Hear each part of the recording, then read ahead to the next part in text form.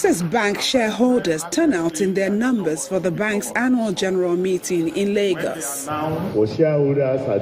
Alongside the bank's management officials and regulatory authorities, it's straight to the business of the day, which includes the adoption of the financial report for the year ended December 31st, 2016, which shows, among other figures, an increase of 8.5% in the bank's profit after tax from 65.9 billion naira in 2015 to 71.4 billion naira in 2016. If you look through our numbers, you'll find out that those gross earn, our gross earnings moved up.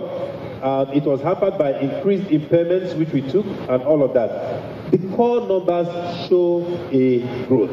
All right, Access Bank continues to grow stronger and stronger and stronger and stronger.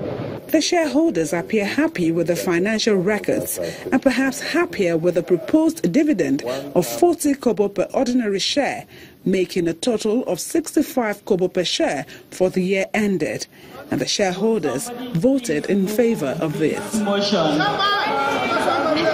What one will say is that given the challenges in the economy, uh, it's, it's not a bad result. Every year we have an AGM, they used to declare dividend, and their performance is always good. In donation, they are very kind and generous.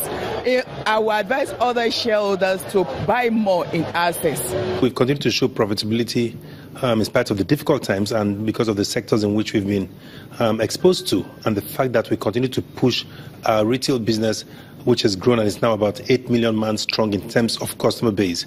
We have about 4 million um, virtual customers, and so by definition, the sheer scale of the institution is making us to show more and much, more and more uh, profitability. The group managing director adds that with Access Bank's diversified banking model, robust balance sheet, and solid management team, the bank will continue to maintain improved profitability and excellent banking service.